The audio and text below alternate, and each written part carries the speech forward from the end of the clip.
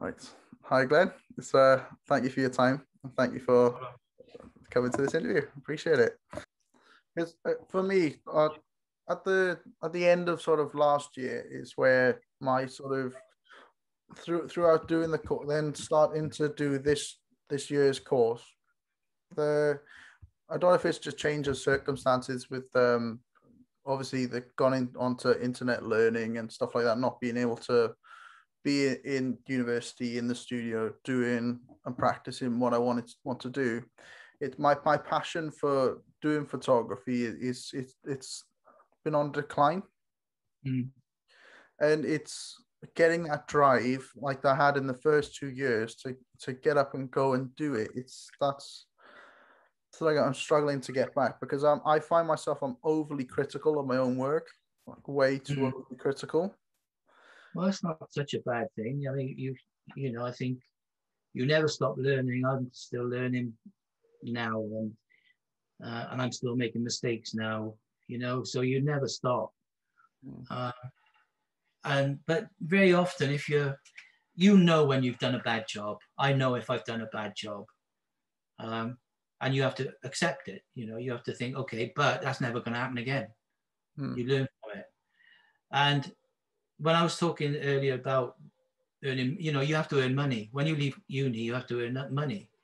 So if I were in your shoes now, I think, and this might sound really strange, but I'd be thinking, why don't I do weddings and charge 1500 quid, 2000 pounds for a wedding, Hmm. right? I used to do weddings for one thing, one reason, one reason only, was because I and I only did, I promised myself every year I would do six. No more, because I didn't want to be booked on a wedding and then someone phone me and say, can you go somewhere? And I'm committed to the wedding. So I would only do six. But those six weddings, one wedding paid for a trip. Mhm. That's the way I always looked at it. it. One, it's great practice because you're still looking for pictures in a documentary style.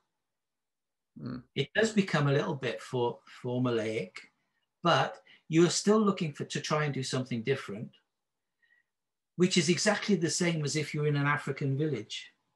Hmm. It's documentary.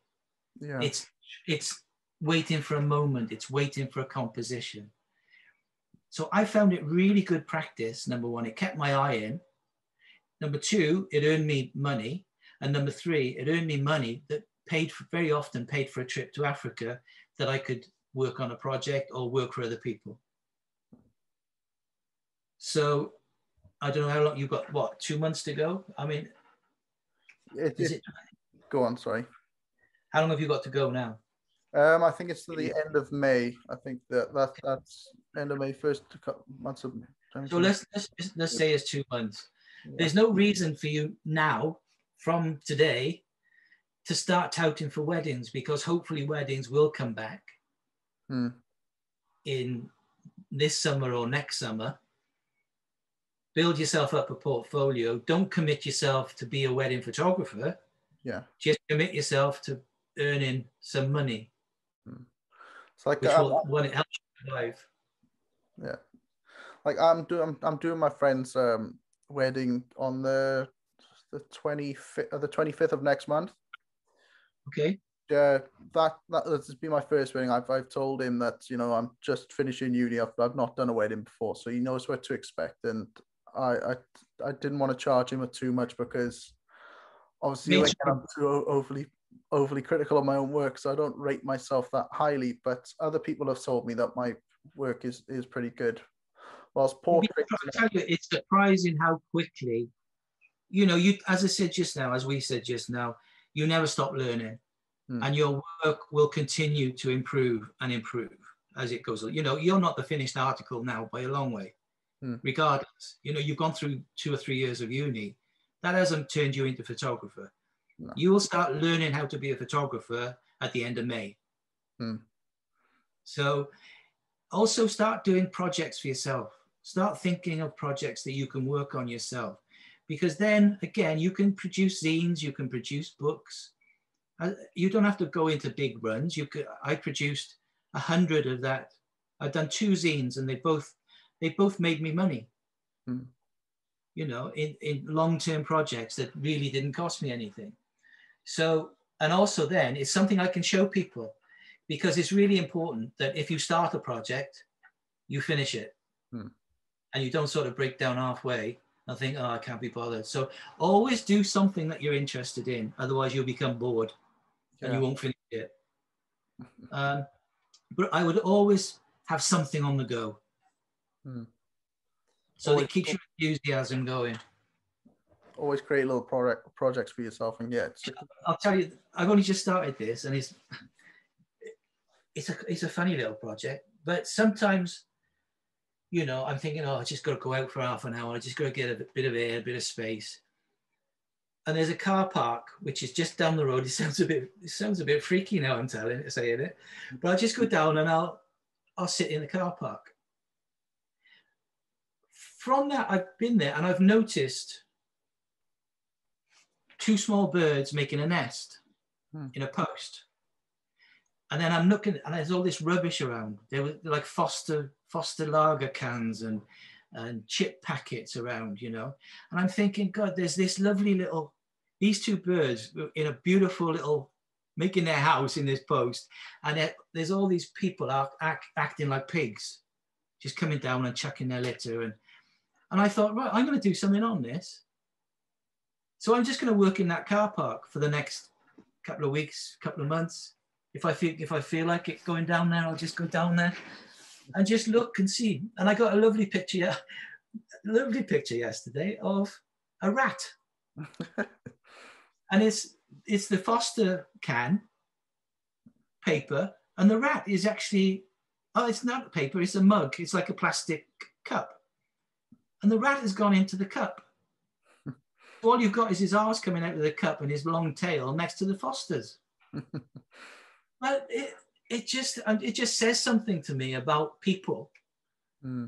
you know. Um, so that's what I'm going to do. It's just something to keep keep your mind ticking over, you know. I think I think that's that. Uh, like with, with me, it's um, I'm great when I'm working to a brief.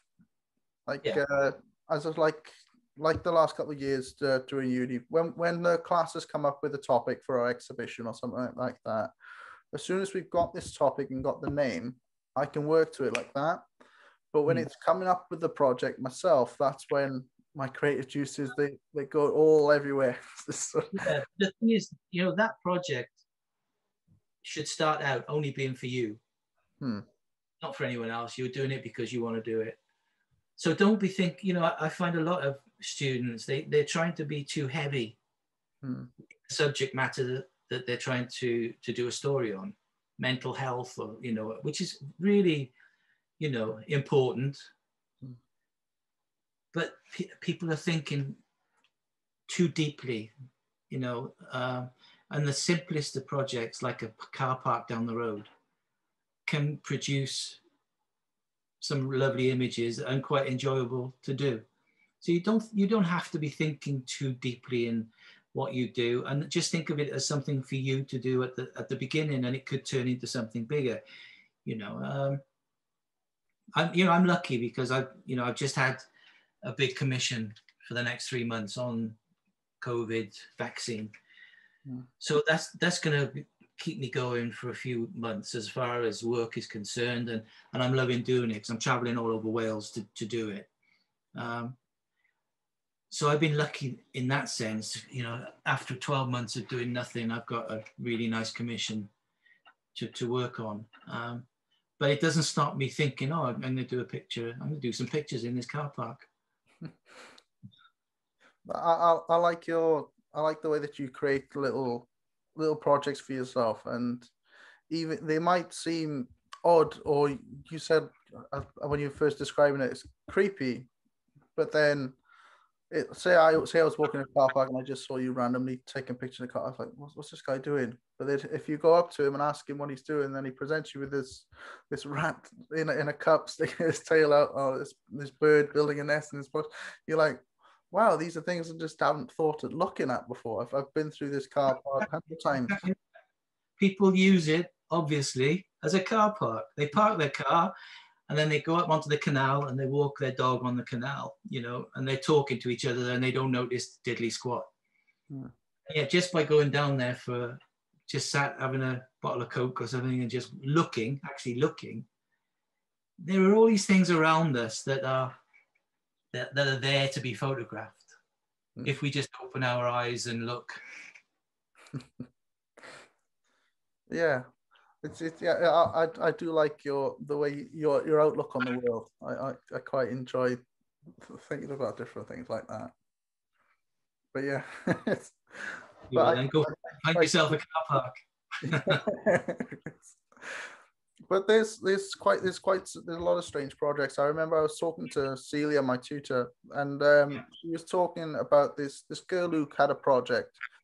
Uh, she presented these photos of different places, like there was by some bins, and then there was another one of a little corner of a car park. One was in an alley, and one was in the middle of a dark street. And at first, you're like, oh, what's what's this? What's this about? Is she got night nighttime photography, or what's going on here then? But then it was all all brought together with a title. It was rape sites. Yeah. It hit. It just hit me. It was. It. It's. It. She. She. This. This student had gone to the police and she'd gone to like these uh, uh, general people's information, and and she'd found these like sites and it's this. It's just putting a, a story behind a picture like that. It's it flips your mind. I know it's, it's a dark subject, but it's I think we've gone really, I think we've gone full circle here because we've come back to what I think is the most important thing about a photograph, and that's the story.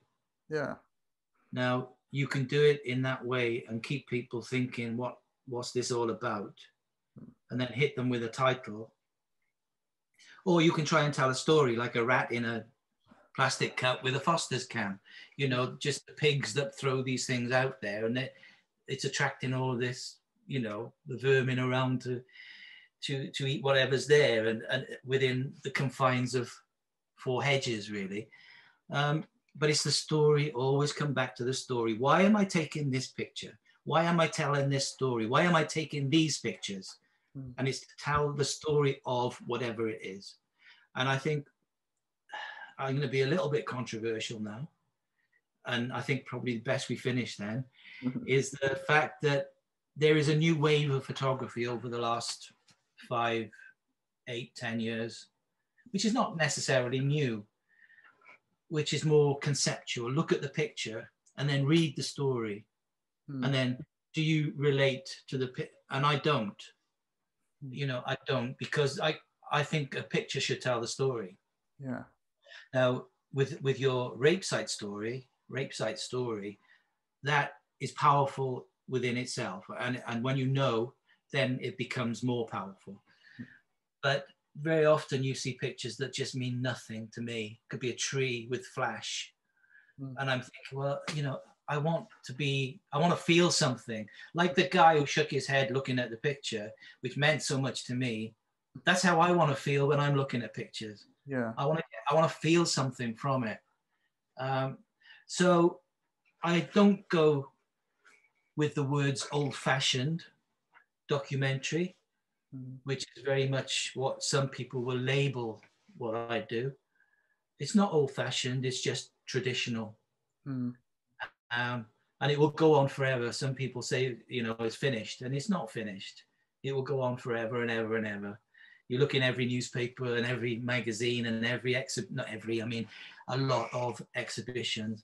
And, and also, I, I always think, who am I actually taking a picture for? Hmm. Am I taking uh, this? Am I taking this picture for another photographer to tell me how wonderful it is, or am I taking this picture for Mr. and Mrs. Jones to learn something from? Hmm. And every time it's for Mr. and Mrs. Jones.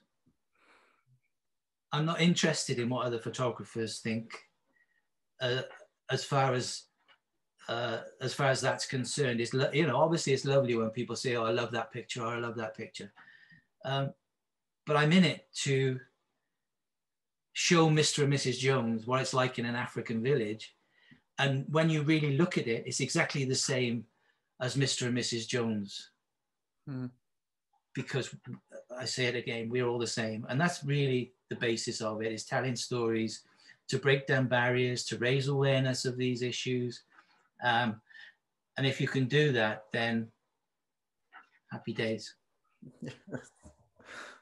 well, I think I think that's that's a, I like I, I enjoyed the end of that. but thank thank you very very much for your time, Glenn. I appreciate it so much. It's uh, it, Anytime. It's a hell of a lot to. Keep in touch, no problem. Thank you.